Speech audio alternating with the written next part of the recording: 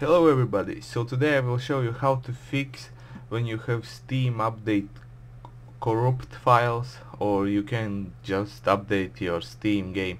Okay, so the first basic what you can do is go to settings, downloads and change download region of course.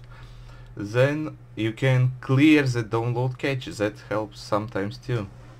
But if these both uh, things doesn't help then you can go to control panel and turn off your Windows firewall because it sometimes blocks the update. I don't know why. Okay but if that that doesn't work then you can go to settings again and in Steam library folders you can just change default or if you have two disks of course you can change defaults because sometimes it changes defaults at, at its own and yes.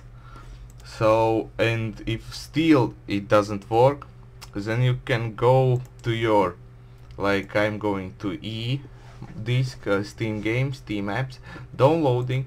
Here will be all the downloaded files. So you just take the one who which is corrupt file you will see it at zero. And you will just copy it. Then you go to your main disk Steam uh, Steam apps and in common you will go for Counter-Strike Global Offensive and just paste it where it belongs. And when you will paste it you will see zero will be gone. You could again play your CSGO or any other games. Thank you for watching, subscribe, like, comment and do all that stuff that really helps